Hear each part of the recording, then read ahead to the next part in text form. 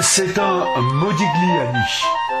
Il a été vendu récemment pour 157 millions de dollars.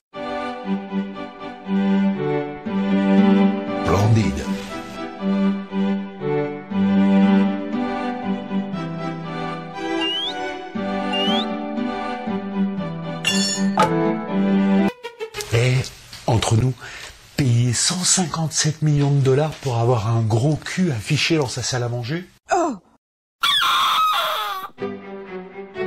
Mm, euh, Je me posais une question. C- Ça fait caca, Modigliani